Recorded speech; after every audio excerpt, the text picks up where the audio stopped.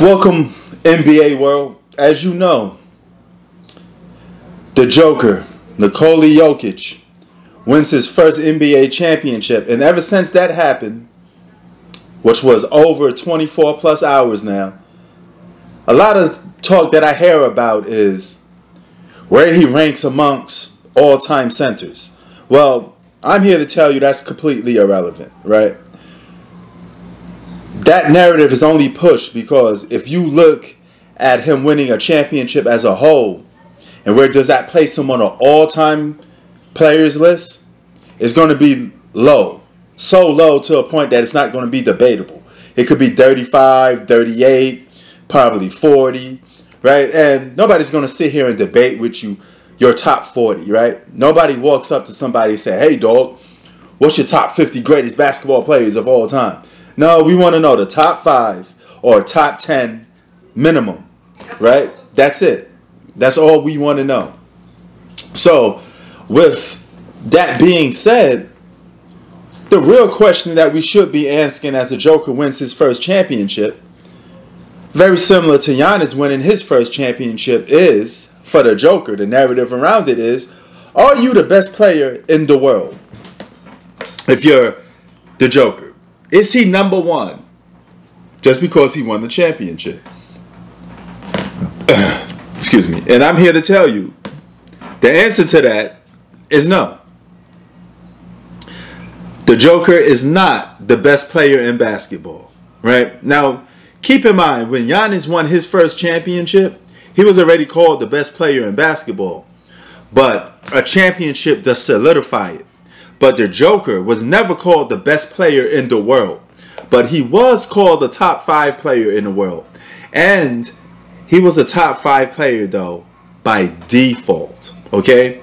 Now, being a top five player by default is not the same as being hands down, nine out of ten times from people considered the best player or top five player in the world.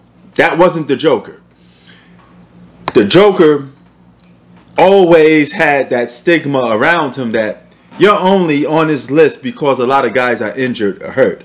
So he had to prove to the world that, hey, I deserve to be a top five player. And that's what this championship does. It gives him right to be called the top five player in the world. It also gives him right to say that he's better than Joel Embiid, no questions asked. That's the pros of it. Top five, better than Joel Embiid. But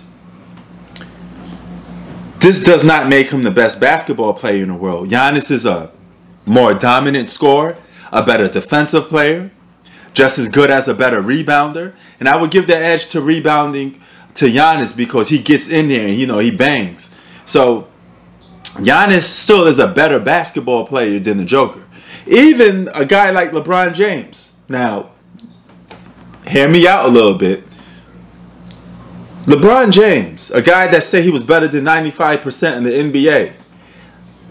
Old, new money, old money. LeBron James is still better than the Joker. Even now, he's still a better basketball player. You can still make a case. And I know that sounds crazy because look at it like this.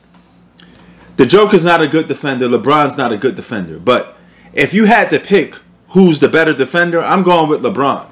Okay? Even at age 38. The score, LeBron James is just as good of a score as the Joker is, if not better. And I could make a case that he's a more diverse scorer compared to the Joker. The Joker's a better in-post scorer because he has all those post-up moves. But LeBron James is better at shooting the three ball. He's a better mid-range shooter. He's a better attacker of the basket. LeBron James is just a better scorer than the Joker. And that's just, it is what it is on that aspect. So the only thing you can make a case for is the Joker being a better passer.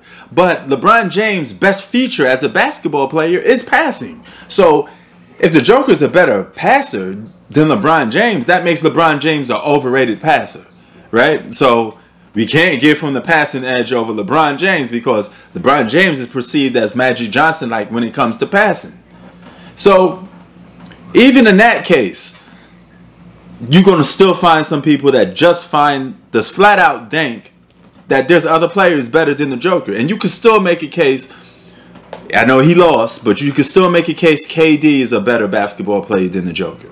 There's a lot of guys that you can make a case for being better than the Joker. It's not clear cut.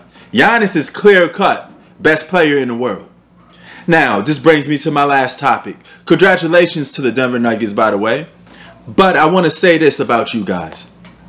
You winning a championship doesn't mean you're some type of dynasty in the making. Teams are going to get better. You're a small market team. You're going to fall in line with Milwaukee Bucks, the Denver Nuggets. You guys fall in line with the same criteria. You don't get that much money to keep those players because those players are going to get hot now.